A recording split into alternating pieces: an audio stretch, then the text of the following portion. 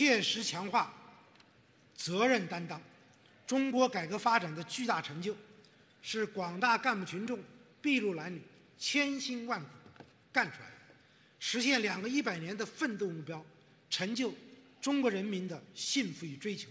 还得长期不懈地干，为政与公，行胜于言。各级政府及其工作人员要求真务实、利见浮华，以推动改革发展的成果说话，以干事创业的实际交卷，健全